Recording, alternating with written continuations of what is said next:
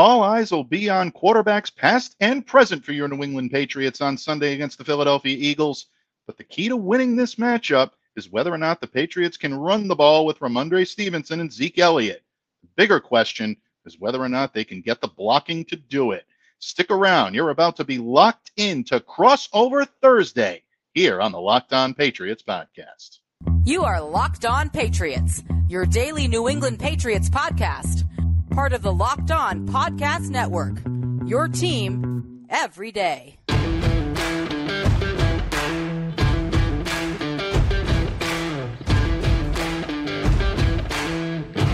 Hello to all of you Foxborough faithful. Thank you once again for making Locked On Patriots a daily part of your New England Patriots coverage. Don't forget that we are a proud part of the Locked On Podcast Network, your team every day. Subscribe or follow for free on YouTube or wherever you get your podcasts to make sure that you're getting the latest episode as soon as it's available.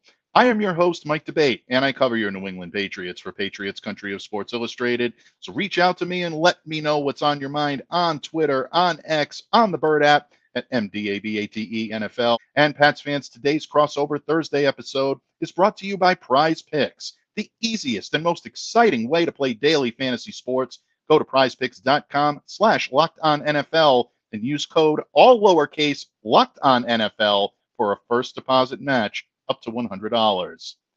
Pats fans, thank you so much for joining me here today on Crossover Thursday. That's right, it's the time of year again where it's time to cross the streams. And joining me here today in just a moment is going to be my colleague here at the Locked On Podcast Network, co host of Locked On Eagles. And he just happens to be a fellow Paisan to boot. Gino Cammelleri joins me today, and we're going to be talking all things Patriots, Eagles, matchups to watch in this one, the biggest storylines heading out of both cities. And of course, we're going to give you our game predictions and keys to victories. Stay locked in, folks, because you're about to enter Crossover Thursday here on the Locked On Podcast Network. Patriots fans and Eagles fans, welcome to this Locked On Crossover Thursday portion of today's episode of Locked On Patriots and Locked On Eagles. I'm Mike D'Abate, host of the Locked On Patriots podcast, and joining me is my cohort in crime today, the co-host of Locked On Eagles, and just happens to be also my paisan, Gino Cammelleri joins me today. Gino, this has been one I've been waiting for for quite a while. Pats fans are excited. Eagles fans are excited. This Sunday, Gillette Stadium, Tom Brady Appreciation Day. What more can you ask for to have the NFC champions come into town to face the New England Patriots at home? it's one that I think everybody is excited for. I think everybody in Philadelphia remembers 2017 and that 2018 Super Bowl. I'm wearing my underdog shirt right now. they remember 2004, 2005, crying after Terrell Owens and that team couldn't get it done. This is one of mm-hmm. those kind of rivalries that goes under the radar a little bit, but I think everybody that knows these games and even the 2015 game when the Eagles were not a great team and coming to Foxborough and upset that really good Tom Brady team. There's been some mm-hmm. fantastic games, and I think this one's going to hit home as another classic in this series.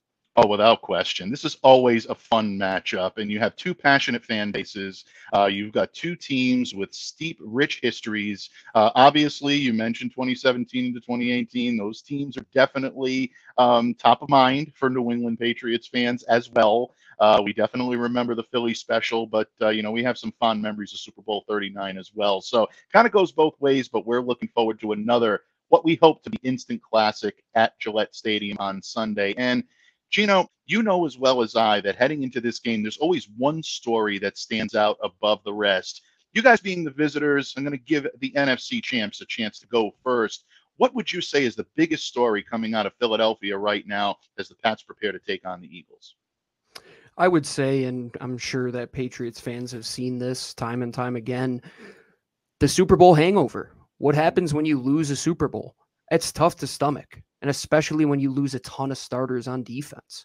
Mm-hmm. The Eagles, they lose their offensive coordinator and their defensive coordinator, lose a boatload of starters on defense, but then you turn around and Howie Roseman assembles a pretty darn good roster, and many are picking them to be the one seed in the NFC and the team to once again represent the NFC in the Super Bowl. And I think it comes down to who Bill Belichick said today was a top three player in the league, Jalen Hurts. Can he continue that rise? because you look at the other side of the ball with Mac Jones, you're in a division where you're competing against great quarterbacks. Right. In the NFC East, teams are now trying to keep up with Jalen Hurts and this Eagles team, but it runs through the quarterback. Tom Brady led that team to six Super Bowls. You know how important it is. And the Eagles are trying to find somebody that can even give them maybe just one more because Nick Foles doesn't come around basically ever in the National Football League. It's lightning in a bottle. They need to find a way to become consistent. And this week one matchup would be a great way to show that the Super Bowls in the past, how can this 2023 team cement their personality that we are beyond 2022? There's four guys from the 2017 team here. It's a completely new era in Philadelphia, and they're going to take on a coach who's still trying to do things the same way he's done for almost 30 years, and it's kept him in the National Football League. And how do you game plan against that, especially with a young coaching staff that Nick Sirianni has? Yeah, without any question. Bill Belichick spoke glowingly on Wednesday morning about the Philadelphia Eagles. He's typically, I should say, effusive in his praise for Mhm. opponents, but this is one of those days where Bill Belichick really elaborated on the prowess that a team coming into Foxborough has. And when he does that, you know there's a mutual level of respect there, um, and with good reason. Uh, this is a team that employs one of the best quarterbacks in the league in Jalen Hurts, three potent pass catchers. Hurts is a weapon on the ground as well. You add D'Andre Swift into that mix. It's going to be a tough matchup for the New England Patriots. And we haven't even talked about the defensive side of the ball yet and Fletcher Cox and that lethal front seven. And I know we're going to get into that in just a moment. So for the New England Patriots, on the other hand, it's trying to get back to respectability. One of the biggest things that the Patriots are going to have to prove is that the offensive woes that they had under the Matt Patricia, Joe Judge regime last year are a thing of the past. Bill O'Brien has taken control of this offense with Bill Belichick's blessing. What does it mean for Mac Jones? Is he still getting confused by those third, second level blitzes that are being sent from teams with very aggressive defensive fronts? Is he opening at the top of his drop in the wrong direction? And if that's the case, he's going to continue to have problems. If it's not, and Mac is utilizing the field a little bit better and he's doing what he's done throughout training camp now, which is being more comfortable, being more decisive under the tutelage of Bill O'Brien, releasing the ball quickly, delivering it accurately, and using the run to facilitate play action. If the Patriots are doing these things, then you know that those offensive woes are behind them. If they're not, it's going to be a long season in New England, and there are going to be a lot of upset Patriots fans in the stands um, on Sunday and beyond. So, to me, that's the biggest story coming out of New England right now is going to be the rebirth of the Patriots offense. Gino, you know as well as I do, it's fun to talk about big storylines, but these games ultimately come down to the matchups. And we've already drilled down a little bit into what some of these matchups may look like. Gino and I are going to drill down a little further and tell you which matchups could end up deciding this week one matchup in Foxborough, Massachusetts on Sunday. More on this crossover Thursday. Locked on Patriots, Locked on Eagles, Mike D'Abate, Gino Cammelleri, right here on the Locked On Podcast Network, your team every day. Before we get into yet some more great discussion points here at the Locked On Eagles and Locked On Patriots crossover, we have a message from our friends over at Prize Picks. Yes, they're back, folks. But if you haven't heard about Prize Picks, I'll tell you what it is. It's a skill based, real money daily fantasy sports game. How does it work? You pick two to six players, say, will they go more or less than their prize picks projections? And with that, you can win up to 25 times your money on entry. It's so easy. If you don't want to go into these big, long fantasy drafts and have to do all this research, just go on to prize picks, make two picks, six picks in less than 60 seconds. This week, I'm riding with Saquon Barkley for more than 60 yards on the ground and Patrick Mahomes for more than two passing touchdowns. I think even with Travis Kelce potentially being injured in that game, you know Andy Reid is going to come out firing. And you can make those same selections over at Prize Picks. Make sure you go to prizepicks.com slash locked on NFL and use code locked on NFL for a deposit match up to $100. If you put in $100, they will give you $100. What is better than that? It's simple, easy, and fun to play. Thank you to Prize Picks for being a great sponsor here of Crossover Thursday at the Locked On Podcast Network. Pets fans and Eagles fans, thank you once again for taking time out of your day to join us here on this Locked On Crossover Thursday. Crossing the streams between Locked On Patriots and Locked On Eagles. It's a ton of fun so far, folks. Two amazingly passionate fan bases, two great fan bases. The cheesesteak versus the chowder. It's going to be a fun one on Sunday in New England. But, Gino, prior to the break, we talked a lot about the big storylines that are coming out of Philadelphia and that are coming out of New England. We talked a lot about Super Bowl hangovers and Mac Jones and Bill O'Brien trying to recapture some glory of the Patriots offense, the remnants of a proud Patriots offense years ago. Um, and the Eagles trying to break through and make their own glory and their own history moving forward. But we both know that in order for each team to fulfill their big story, they have to win key matchups. And this game, fortunately for us, is full of key matchups, matchups that could decide fate from one way or another. But here at the Locked On Podcast Network, we choose to make things a little more difficult on ourselves, folks. And we're going to try to narrow down that matchup that could decide the game. Once again, as the visitor, we like to extend our hospitality here in New England. What would you say is the key matchup in this game that might decide the outcome on Sunday? I think if you're going to have to look at it from an Eagles perspective, it's how can they take advantage of the Patriots putting Riley Reiff on the injured reserve just a few days before mm. this game. I don't know who's going to start there. Maybe you have better inclination if it's going to be potentially Sidy Sow. Maybe you don't want to give away the trade secrets, which I'm sure Bill Belichick didn't do either. but regardless of who it is, the identity of what the Philadelphia Eagles were last year was predicated on the defensive line, which it's been for nearly three decades now. But at the same time, their coverage element on the outside was so good. I think the matchups on the outside, it's going to be like a boxing match. Like Juju will win some against James Bradberry, Slay, and that mm. whole group. There will be some hits and misses some places, but I think at that right tackle position, it has to be all game that Haason Reddick, that Josh Sweat, that Nolan Smith, whoever is lined up over the right tackle, makes Mac Jones come off of his first read to be susceptible to those second level blitzes, like you said. How do you mm. get those guys to hit home from the second level? Quarterback's got to hold on to the ball for a little bit longer. How do you do that? Well, if he's a righty quarterback looking to the right side of the field, get in his face, make him go to his second and third read. I think that those guys know how important they are to this team, and they are the constant. Haason Reddick, Josh Sweat, those guys are the constant on this defensive line. There's a lot of turnover. Javon Hargrave and Ndamukong Suh, Linval Joseph, those guys are no longer there. Fletcher Cox won't play as much as he did in the past. It's going to be on those young pass rushers. And they're going to have to win the battle on the left side against Trent Brown, too. But I really think it comes down to how does Bill look to counteract that known weakness on his offensive line? He's great at doing that, but the Eagles have the guys and the horses that could probably counteract as much game planning as you want to because Haason Reddick should have won Defensive Player of the Year last year. And mm-hmm. Matthew Judon, he's probably a clone of Haason Reddick. You know how great he is and instrumental for, he is for New England. That's really what he is to Philadelphia. So he wins those one on ones. I think it'll be a long day for Mac Jones. But if not, you get back into what you were talking about in segment one, Mike. They get on schedule. Bill Belichick is going to have his team on rhythm. They're going to limit the penalties. They're going to convert in big time situations. You have to get a team like that off schedule. Absolutely. So well said. And I'm glad you mentioned Matthew Judon because I am going to come back to him in just a couple of seconds. But your questions on the offensive line are questions that we have here in New England right now with regard to who is going to be manning the right side of that line.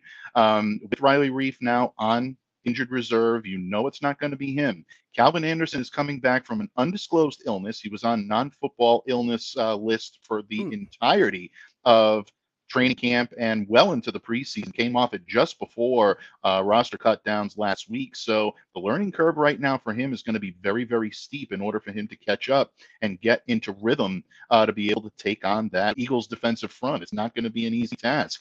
You're talking Tyrone Wheatley and Vederian Lowe that just came in here. I think it's going to be a lot to ask them to step in and be, uh, you know, formidable forces on that right side. So now you're looking at a pair of rookies, maybe Sidy Sow comes in and does what he needs to do. Maybe Atonio Mafi comes in and plays guard and Michael Onwenu kicks out to tackle. There's a lot of different ways that the Patriots could play it, but I agree with you. That could be a matchup that does decide this game because if you're protecting Mac Jones and he has time, he might be able to hit his targets. And then you start to give the Patriots a puncher's chance. But you mentioned Judon, and to me, I think this is the key matchup for the New England Patriots to win. If they're going to try to go after this, they need to be aggressive on defense because I think they win this game on defense more than they win it with their offense. And I'm going with Matthew Judon against the Eagles pass protection. And I want to give a slight tip of the cap to Honest NFL, who got me thinking about this with a couple of tweets earlier on this week. Matthew is at his best off the left edge. That's really where he does his mm-hmm. best work and I think really shows his prowess as a premier pass rusher in this league. That's exactly the spot you don't want to be playing. If you're a pass rush specialist and you're going against the Eagles, that's where they're at their best. So, do you send your best pass rusher, unarguably, because Matthew Judon is just that, into the lion's den and into an area where the Eagles are so good at being able to, you know, protect against that. In order to maximize Matthews' prowess, I'm wondering if maybe they try deploying him on the other side. It might be a little bit unorthodox, it might be a little bit against the grain, but we've known Bill Belichick to do things like this. I think trying to beat Lane Johnson to a spot is a tougher task for the New England mm-hmm. Patriots mm-hmm. and Matthew Judon. So I think Bill Belichick is going to throw a lot at the Eagles pressure wise because I think the only way the Patriots are going to be able to win this game or at least keep it marginally close is if they try to make the Eagles look like an average offense with that pressure. It's not an easy task and it's going to be very difficult, but the Patriots are going to try it. So if Matthew Judon is commanding the attention of multiple members of that line, it could free up rushers like Josh Uche, like Deatrich Wise Jr., and look for the rookie Keion White to get in on the act as well, folks. He has been a heat seeking missile in the preseason so far. He's facing the toughest defense he's ever faced, without question. Maybe the toughest defense in the league in recent years. So keep a sharp eye out on the Patriots pass rush, especially Judon. If they can win this matchup, it could tilt the scale in favor of the New England Patriots on Sunday. It won't be easy. And I think Josh Uche, as good as the Eagles have depth and that second punch on their edge, Uche's versatility and his ability to just create havoc from anywhere, as well as Matthew Judon. And we talked about that on our show, and it's like you're reading our minds. Like, where do they deploy these guys? We're almost at that time, folks. Gino and I are going to tip our hand. Which players are catching our sharp eye on Sunday, and how do we think this is all going to shake out in Foxborough? Game predictions, key players, so much more when this Locked On crossover Thursday between Locked On Patriots and Locked On Eagles continues in just a moment right here on the Locked On Podcast Network, your team every day. Locked On listeners, these days, every new potential hire can feel like a high stakes wager for your small business. You want to be 100% certain that you have access to the best qualified candidates available. That's why you have to check out our good friends and sponsors for today's pod, LinkedIn Jobs. LinkedIn Jobs helps find the right people for your team faster and for free. Add your job and the purple hashtag hiring frame to your LinkedIn profile to spread the word that you're hiring. Simple tools like screening questions make it easy to focus on candidates with just the right skills and experience so you can quickly prioritize who you'd like to interview and hire. It's why small businesses rate LinkedIn jobs number one in delivering quality hires versus the leading competitors. LinkedIn jobs helps you find the qualified candidates you want to talk to, and they help you do it faster. Post your job for free at linkedin.com slash locked on NFL. That's linkedin.com slash locked on NFL to post your job for free. Terms and conditions apply. Pats fans, this Locked On crossover Thursday between Locked On Patriots and Locked On Eagles. Mike D'Abate, your host of Locked On Patriots. Gino Cammelleri, host of Locked On Eagles one half of the hosting tandem. Definitely missing Louis DiBiase today, but hopefully we've given you enough Paisan insight to help whet your appetite for this upcoming matchup. Gino, it's been a blast so far, but we're not quite done yet. Once again, as the visiting team, as the defending NFC champion and the favorite uh, in this game, when you look at the Philadelphia Eagles, what needs to go right for the Eagles to win this game on Sunday? For things to go right, it just play great fundamental football. As cliche as that sounds, one of the big question marks I would say is what is the crack in the foundation? And I think it comes down to tackling on the defensive side of the ball. These guys haven't really seen the field. I mean, they haven't seen a lot of play in the preseason. They haven't really seen game action since the Super Bowl. They need to come out there and keep everything predicated in the trenches and dominate where your general manager, where your coach, your defensive coordinator, offensive coordinator, know you should dominate. And that's in the trenches. And what does that allow you to do? Well, when you win offensively in the trenches, that could keep you on schedule in the run game. It will allow Jalen Hurts to continue to excel as a passer. He's just getting better and better every year. If you keep that pocket clean for him, the sky's the limit. And defensively, it means taking away all those things you want to do on offense from the Patriots offense. And Bill Belichick, he's as complex as some of his defenses might be, he gets down to the basics of football and he gets back to those fundamental things. And when you play good, fundamental free, penalty free football, you're going to win a lot of those games. And I think week one is where there's a lot more variance when it comes down to those things. Maybe a team isn't as disciplined as they should be. Assignments are going to be missed. Guys are going to false start. You're probably going to have a 12 man on the field penalty at some point in this game. I think it's just whatever team can stay on schedule and play football just free, fast, and fun without any penalties is going to come away and win this game. And why I think it'll be Philadelphia is because of the guy driving the car. I compared Jalen Hurts all year to a Formula One car last year because they were putting pieces next to him, like AJ Brown and Dallas Goedert and DeVonta Smith, like putting a new engine in a car. But now he's the driver of the car. Like the car doesn't go anywhere without this guy. And I mean, goodness gracious, you had the equivalent of Lewis Hamilton in New England with Tom Brady winning all those championships. Well, hopefully Jalen Hurts could be that Max Verstappen, who's that next up and coming guy. And I really think that Bill Belichick, as much as he will praise teams, was not talking out of both sides of his mouth when he said that Jalen Hurts was a top three player in this league because he mm. is. He is one of those guys, the Josh Allen, the next archetype of what it is to make a team play 12 men on offense where you have a running quarterback and a passing quarterback and make a defense play with one hand behind their back and essentially play with 10 guys. Jalen Hurts, he didn't have any nerves in the Super Bowl or any of the national championships. I don't know why I should have nerves going into this game. As long as he is behind the quarterback position, I trust him.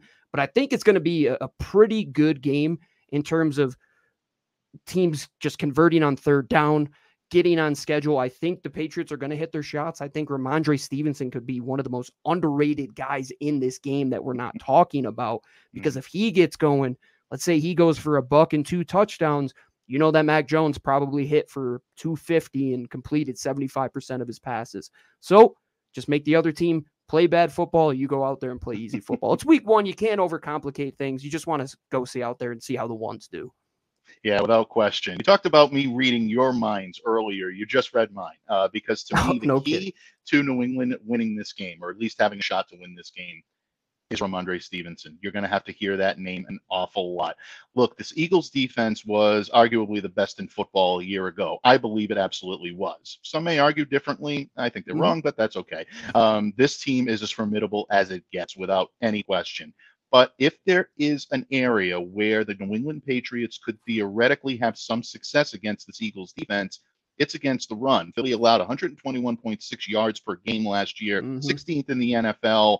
4.64 yards per rush, 24th over the course of the entire season. The Patriots need to establish the run in order to be successful. That means a heavy dose of Rhamondre Stevenson and a pretty good dose of Ezekiel Elliott, someone you and Louis are very used to seeing with all of those years in Dallas. So this is what has to happen for the Patriots to be effective. You're going to get a heavy dose of Rhamondre at the top of the heap, and Ezekiel trying to come in and play that second back that's going to be able to help spell him a little bit and take some of the pressure off. But to me, the bigger question is whether or not the Patriots can find ways to block that daunting Eagles defensive front. It's a lot easier said than done to say that Rhamondre Stevenson, Ezekiel Elliott need to get some sort of traction. It's another thing to get the blocking up front. And it's not just Fletcher Cox. It's not just Jordan Davis. It's not just Jalen Carter as a rookie coming in there and disrupting things. And I know I'm leaving a lot of names out, folks. Mm-hmm. There are that many names that can really impact you're talking about linebackers like Zach Cunningham and Kobe Dean, someone I was salivating over for the New England Patriots to get their hands on a couple of years ago in the draft, trying to find ways to stack that defense and prevent the Patriots from being able to run on it. If he can figure out a way to do it early, New England Patriots may not be able to gain the traction they need to even keep this one competitive, let alone win it.